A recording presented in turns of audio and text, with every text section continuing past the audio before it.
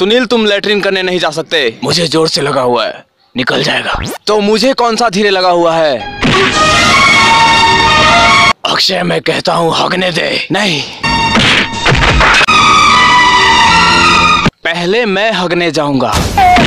बाबा बाबा बाबा भैया लोग हगने के लिए लड़ रहे हैं बाबा। सुनील पहले मैं हगने जाऊँगा। तू मेरे बाद हगना अक्षय। सुनील पहले मैं हगूँगा। मेरे पेट में गुड़गुड़ हो रहा है। सुनील पहले मैं आगूँगा।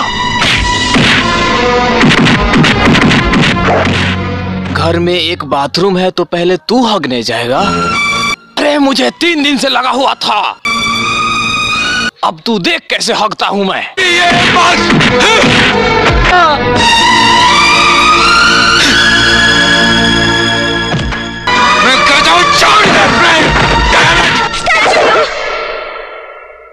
शर्म आनी चाहिए तुम दोनों को। उधर तुम्हारी बहन को कोई उठा के लेके गया है और इधर तुम दोनों को हगने की पड़ी है।